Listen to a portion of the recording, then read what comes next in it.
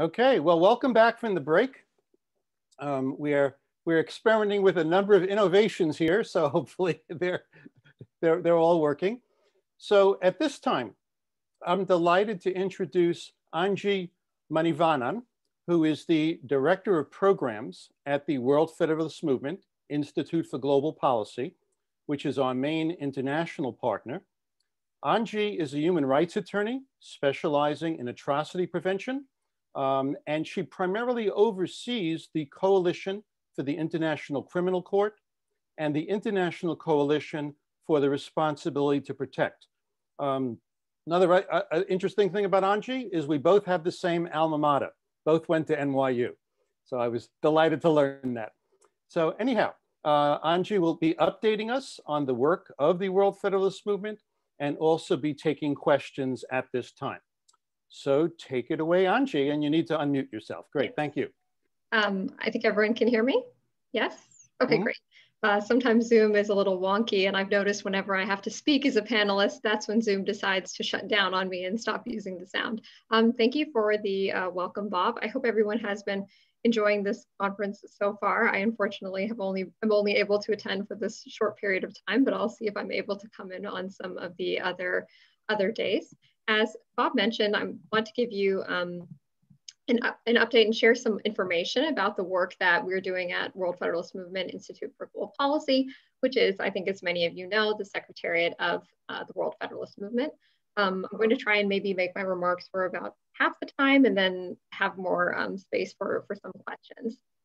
Um, I think as many of you know, or maybe some of you don't know, uh, WFM IGP uses a coalition operating model. So you may already be somewhat familiar with our longstanding coalition programs, the Coalition for the International Criminal Court, or CICC, and the International Coalition for the Responsibility to Protect, or ICRTP. I'm very excited to announce that WFM-IGP is seeking to adopt a broader and a more holistic approach to addressing global challenges by exploring opportunities to, um, to examine, to analyze, and to solve some of the day-to-day -day or so-called ordinary, as we say in the human rights field, human rights violations, women's rights and participation in political processes, systemic racism, and climate change. And we're currently in the process of developing and seeking funding for such projects for the upcoming year. But this year already, as I hope some of you were able to, um, to attend, we launched a virtual conversation series, like many NGOs, I think, that have started doing webinars, especially during, um, since the pandemic began. And this virtual conversation series is a platform for solutions-focused discussions by practitioners and experts to explore global challenges against the backdrop of increasing geopolitical instability and hostility to multilateralism. Our programming seeks to strengthen multilateral systems and frameworks from the International Criminal Court to the responsibility to protect the women, peace, and sec security agenda. And as I mentioned before, we're looking to um, expand into other thematic issues that have a nexus to um, multilateralism and world federalism. I'd like to just give you a bit of background on some of the longstanding programs and some of the pro projects that we have also been implementing that I think are less well known than the CICC and the ICRTP, but just as I'm not sure where everyone's level of knowledge is about the work that we do, I, I hope that's okay. And for those of you who are very familiar with our work, um, apologies for giving you a, a, a bit of a history lesson. Uh, the CICC, which turned 25 years old this year, was established in 1995 as a group of 25 civil society organizations from all over the world, and it successfully pushed for a permanent international criminal court. It's actually widely held and believed that without the CICC, we wouldn't even have an ICC today. The CICC works towards the universality of the Rome Statute system through treaty ratification, a more effective, independent, and fair ICC, improved cooperation between governments, regional organizations, international organizations, and the ICC, and a better understanding of the Rome Statute system. Much of this necessitates strengthening civil society capacities. This year in particular, the CICC has been campaigning to ensure that states nominate and elect only the most highly qualified individuals as ICC officials through fair, transparent, and merit-based processes.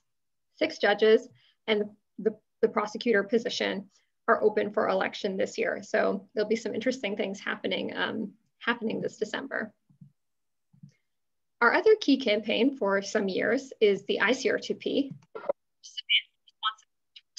at different levels of the multilateral system since 2009. Responsibility to protect is the doctrine and considered to be an emerging international legal norm by some, including the coalition, and is aimed at preventing and stopping mass atrocity crimes. This doctrine and its three pillars to guide the protection of populations was unanimously endorsed by the world 15 years ago in 2005. The ICR2P increases awareness and endorsements of the responsibility to protect, pushes states, regional and sub-regional organizations, and the UN to strengthen their prevention capacities, and develop specific actions to mobilize civil society around at-risk or ongoing situations of mass atrocity crimes. In the COVID age, the ICR2P launched virtual trainings for activists in countries in the Middle East and North Africa, East Africa, and West Africa regions. The MENA tra training um, builds on the ICR2P's previous experience in the region. The East Africa training focuses on election-related violence as a risk factor for mass atrocities or violence.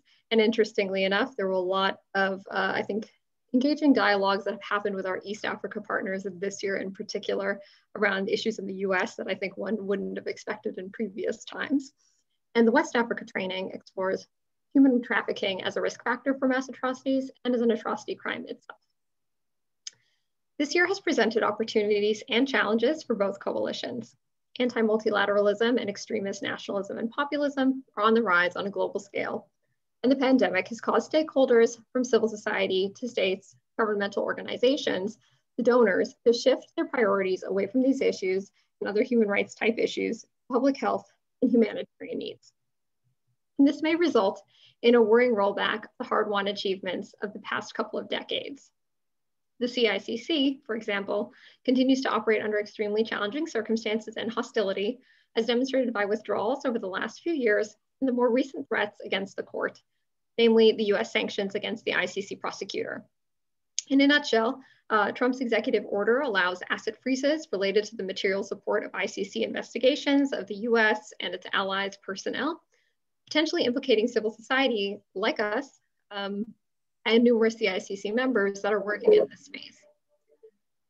This coupled with the pandemic has already introduced a number of uncertainties uh, around key ICC events like the Assembly of States Parties that's happening next month and civil society's ability or inability to participate in them physically or virtually due to various restrictions that now exist uh, related to travel and um, related to protocols by the, by the government of the Netherlands. But fortunately, I think a welcome change in the US government in January may begin a slow process of restoring US cooperation to at least the situation it used to be under President Obama. But in the meantime, and until these changes are effected, uh, I think this is an important issue for all of us because, because this is such a pivotal year at the court. As I mentioned, the prosecutor and six new judges will be elected. And there's also an independent experts review of the ICC that's under consideration. Put differently, challenge, challenges that face the court also directly impact the campaigns of the CICC and therefore the work that's done by WFMIP. Meanwhile, the responsibility to protect as an idea has suffered, particularly in the aftermath of the international community's response to the situation in Libya in 2011. This is the common topic that comes up every time R2P is raised, no matter who I'm speaking to or where they're located. And this has led to some misunderstandings that the responsibility to protect is synonymous with military intervention and regime change, thus overlooking the range of peaceful measures that actually have to come first. Libya's legacy has therefore been an excuse for third party states to fail in their responsibility to protect populations when the host state is the violator. And even some of the really staunch supporters of the doctrine 15 years ago in 2005 now even shy away from using the phrase responsibility to protect. They might use framing that's related to just civilian protection or atrocity prevention instead. But the ICR2P is planning to help demystify this legacy by producing some more accessible outputs, including um, short animation film, in the hopes of revitalizing specific support for the doctrine and answering a lot of the questions that tend to come up in these various forums. Of course, the coalition operating model uh, has limitations in shifting gears or changing direction in the kinds of work and programming that, that we do. So WFM has begun expanding its programming beyond the coalition, so beyond the CICC and beyond the ICR2P. For example, this year, WFM IGP began working with civil society organizations in the uh, Global South to amplify their voice and impact regarding the key legal policy and um, practice reforms that they'd like to see in order to uh, further protect and strengthen the ICC's effectiveness, independence, fairness, and integrity as part of the ICC re review process that's ongoing. The findings and recommendations of our Global South partners will actually be released in a report uh, next week. And as a woman and, um, and a gender expert, I don't know if Bob mentioned that in my introduction, I'm also pleased to announce that one of our projects has that engages with the Women, Peace and Security Agenda, which is established by the UN Security Council um, Resolution 1325 20 years ago. This project has been extended for another year. And in this, in this project, we act as part of a really uh, cross-regional and pretty interesting collaboration and exchange between ourselves and partner organizations in parts of the world that you might not expect to come together in Colombia and in Mali. And together, the three organizations, we work together to increase the competence, participation, and influence of women in peace and justice processes, and to strengthen legislative and judicial capacities to enact and implement laws that criminalize conflict, conflict-related sexual and gender-based violence and incorporate a gender perspective in peace processes, which are very relevant for those particular in-country situations. I think to reiterate, um, these are again incredibly difficult times for multilateralism, and I think challenging times to also advocate for um, world federalism or world federation or however, whatever branding the particular affiliation is using for this, for this concept. These changing donor priorities, as I sort of touched on, especially due to the coronavirus pandemic, have caused many organizations to restructure and results in a lot of staffing changes in organizations. Um, on this point, I'd like to address the, um, I guess, somewhat recent departure of our um, previous executive director, Dr. Tawanda Hondora, and uh, he left the organization for family reasons that were actually like um, affected by, by the COVID pandemic. Um, but our process to recruit a new executive director is going well. We've received solid applications and our board is in the process of going through them and finalizing a selection. And we're fortunate enough that Keith Best, who I think many of you already know, has been supporting our work as an interim executive director. And we look forward to announcing our uh, new executive director in 2021. So the movement is still, is still going, still going strong despite some of the changes. Um, I hope this has helped to give you a little bit more background about what some of the programmatic and I guess institutional and staffing um, changes and developments in the organization are. So I'll stop there and see and open the floor for, for questions. Great, thank you, Anji. So if you have a question, uh, go to your cyber hand and raise your hand there. Again, if you would go into the chat box, I'm sorry, the participants button, that will open up the list of all the names and you can raise your hand there.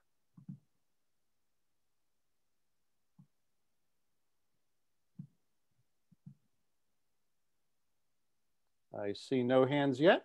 Well, um, okay, I see Peter Orvedius. Let's start with you, Peter. Hmm. Turn my little thing on. Hi, um, this might be slightly off topic, but um, something I was wondering about about the ICC, um, which I've been covering for my blog uh, to some extent. I noticed that um, the nominations for the prosecutors were reopened. That there were, I believe, four candidates, and then they reopened and extended that. And I haven't found any real details on why. It seemed rather unusual, and I know there was some uh, uh, critique about that. Can can you speak to that at all? Like why they reopened the nominations? Was there an issue with those who had been nominated, or? Um, yes, there there was an issue. It was either with the process or with the candidates themselves and how how it was happening. It, there is actually information here. I don't want to say the wrong thing. I can put it in the chat, um, which is maybe um, as you know so I'm, I'm, I'm a manager so in some ways i'm not really working on the nitty gritty of some of these issues um, but I, I, know that there, there is a reason for that and there was a lot of debate happening about it i think um, in the spring and in the summertime um, so i can definitely put a resource i just don't want to spend time trying to remember something and then tell you something that's incorrect Yeah, I'd love to read more about that. Yes. Mostly just out of personal curiosity because it seemed rather rather No strange. problem. Thank you. Once the Q&A is done, I'll stay on long enough to Great. stick it in the Thank you, chat or later I can send it to Bob to share with you. Great. Thank you, Anji. We have Ann Zill and then Chuck Woolery in the queue. Uh, if you would unmute yourself when you come on. Thank you. Um, I, um, dear woman, I would love to have you talk a little more specifically. uh, and I missed the very beginning, so I may have missed this about the ways in which we could get the United States um, to sign on to the Inter- International Criminal Court and to um, be a proper participant. Uh, no, I didn't touch on that in my remarks. Um, I think this is a very important um, aspect. Uh, there is ongoing advocacy that members within the CICC do, some of the US based ones. I mean, WFMIGP has a presence in the US, but our headquarters, our main headquarters is in The Hague. Uh, I think that I think like, I mean, there's probably some need for really creative strategizing. It's unclear what a Biden administration will look like because under Obama, as I mentioned, there was a level of cooperation that exists, but there's been real reluctance to sign on to the court, I think, because of political pressures and concerns about uh, US nationals then being prosecuted, which is a reason many um, states are not signing on to the court all over the world, um, and in, including in some other some other um, developing worlds, uh, developed developed world um, countries. So I know that those advocacy campaigns are, are underway. It is possible though that this this shift that's happening between a Trump and a Biden era, I think might present some opportunities on a wide range of issues, ranging from, I mean, public health is obviously a big one, um, the economy, but also the ICC. And I think those are things that will be considered and that will be discussed in um, upcoming strategy meetings. Somebody should be working on this. This is uh, hugely important. Yes, it is. It is being it's being worked on, but the challenge of political will is going to be a is going to be a big hurdle. Is all I'm saying. Oh, well, I, Thank Yes. you, Anji. Before we go over to Chuck, I will just add that um, we are, we are, we, Citizens for Global Solutions, is going to mount a new campaign for that. Uh, there are a number of campaigns we'll be starting up with on our website, and that will be one of them, just to let folks know. Thank you. Chuck, if you would unmute yourself, you're next up. Uh, Thanks, Bob. Um, Anji, I, I'm really glad you have a background and, and foundation of human rights. And uh, ever since the early 80s, I've been attempting to, to, to study studying the links between human rights and Chuck, national- if you could lean in toward your microphone so we can hear you a little better. Thank you. yeah, I, I'm really glad you have a background in human rights. And uh, since the early 80s, I've been working on uh, the connections between human rights and both human and national security issues. And it repeatedly comes up again and again and again. And uh, it looks like the primary bl- block to making this world work the way we all want is our, our unexamined assumptions about national sovereignty. And that without, with national sovereignty reigning supreme over human rights, we will probably never achieve the goal that we want. And I, and I want you to speak to the, the idea you mentioned earlier, a holistic approach to the to the to the uh, to the issues that we're, we're facing. And right now, it's my understanding that the best holistic approach I've seen is the 17 Sustainable Development Goals. What are what is how is that in the context? I know that that this part of the 17 goals is the ICC and the idea of global justice. But what's your perspective on on that that, that assertions I just made? Um, on on the I to kind of Human Condense. rights being the foundation of human and national security. Um, I mean, I I agree that I think national sovereignty to to many extents is is causing challenges to the implementation of human rights, particularly in states that are violating them, that are uh, entrenched in impunity, and that are sort of inaccessible by other kinds of diplomatic means. So I think I, I do agree with you there. Um, this holistic approach that I, I discussed, it does involve engaging with other relevant systems and frameworks such as the SDGs, particularly um, SDG 16 on peace and justice, which I think provides a really good framework for the kinds of issues that, um, that I discussed that are at least being done with a CICC and ICRTP and some of the other, I guess, extraordinary um, human rights violations that occur. Um, so we're beginning to look at that a little bit more. And when I kind of mentioned that we're in the process of developing and pitching some other projects aligning them and reframing them in that lens is, is part of it. And reframing things, I think, in a broader, even with broader human rights language, then instead of focusing on, I think, very niche topics of international criminal justice at the ICC, atrocity prevention only in through the responsibility to protect. These are things that we've started to kind of expand on and to look for other linkages in. So hopefully I addressed your question. Well, you mentioned earlier about the shift away from, uh, from human rights because of the pandemic. And, and from my perspective, that is the reason we have the pandemic is because we were not focused on human rights, access to healthcare, water, sanitation, basic education, the, the necessities of preventing that kind of stuff. And you mentioned twice the word prevention, but yet I don't hear most of these are things reactionaries, reactions to the problems we face instead of looking at the underlying foundation of real human and, and, national security, which from my perspective, I'll say it again, is the protection of human rights, either the Universal Declaration of Human Rights or the 17 Sustainable Development Goals. Take your pick. But it, it seems like that's what we're missing as the key target for achieving the world we really want. I'm sorry, I, I don't think I'm sure if there was a question or if that was a, a comment. Well, you must have some perspective yeah. on the universal. Well, I, am going to cut in because I do. We, we only have a few minutes left, and I want to see that everybody who has who has a question gets a chance to ask. So I'm not seeing any in the in the uh, you know participants box. So if there's anyone who's having trouble raising their hand, their cyber hand, who wants to say something, you could raise your physical hand, and we'll see that. So I just want to make sure we've gotten everybody. If everyone who's who wants to speak has, then I'll go back to letting Chuck continue dialoguing with Anji. But I want to make sure we've gotten everybody in who wants to. So is there anyone else who hasn't asked a question who, or make a comment who wants to?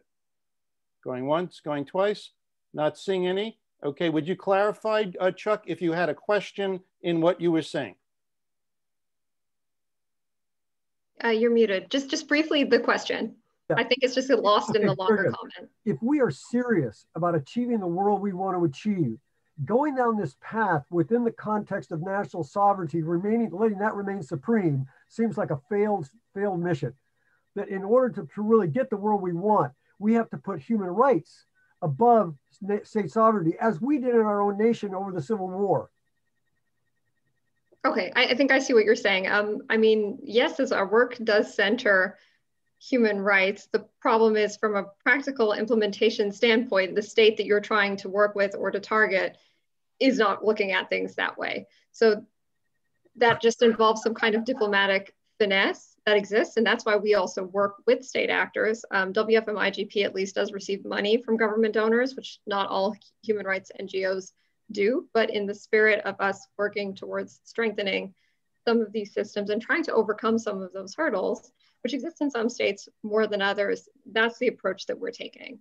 So, I mean, I agree that human rights should be front and center, but in practice, that simply isn't, it's not a realistic, it's not realistic today. Great, thank you. So I'm not seeing any other hands. So Anji, I will let you know that we still have three more minutes. If there's anything else you wanted to add that you didn't have a chance to bring up. Um, I, I, don't think so. Um, I, I, will say though, I'm, i suppose this is a comment on my end. I've noticed in the couple of times that I've made these um, remarks, I get a lot of ICC focused questions and not really the preventative questions. Actually, that's interesting and sort of going off of what, what Chuck says. I mean, the ICC has the potential of preventing atrocities, but it's really not proven. Um, so instead, I, I just find that in a lot of these forums, the focus ends up being on what is the reaction, what is the response, what is this the justice outcome. Um, and I think that's that's interesting. And in some ways, and in some circles, um, and maybe folks who are in the U.S. and following these prison abolition movements and things like that, there is there are even dis- debates about what that looks like with the ICC. I'm sorry, but I can't help with that yet. think something cut in. Um, that the